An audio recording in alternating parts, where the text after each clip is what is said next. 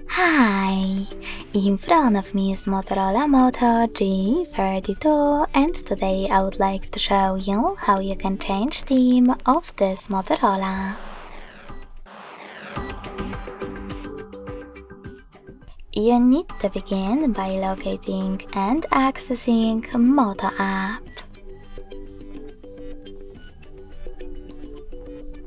When you're ready, tap on those three lines at the top left corner and select Personalize. Now tap on Themes and apply the best one for you by clicking on this square at the bottom right corner of it. I will go with Honey. So now when I go back, as you can see, theme of my device has changed. If you want to, you can always access the same settings, but this time click on this plus at the bottom left corner, right corner, sorry, to create your theme. At the top, you get to name it. And at the bottom, adjust all of those options of it, like wallpaper, font style, color palette, icon shape, and even ringtone.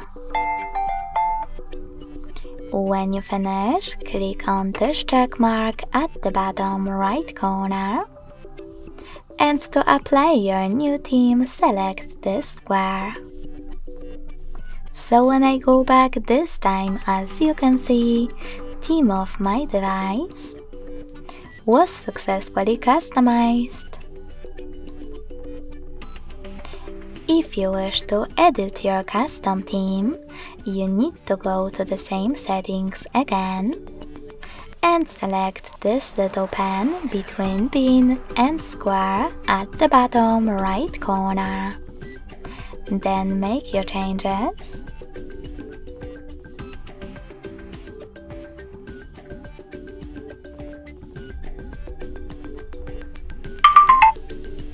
And hit checkmark one more time.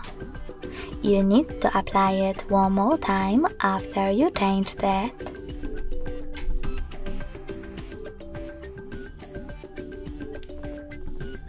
Lastly, to go back to your default theme, just access Themes and tap on Model. To delete your custom though, select this pin next to pen at the bottom left corner right corner, sorry, and confirm your choice in the pop-up. Thanks so much for watching. If you enjoyed this video, don't forget to leave a like, comment and subscribe. Bye!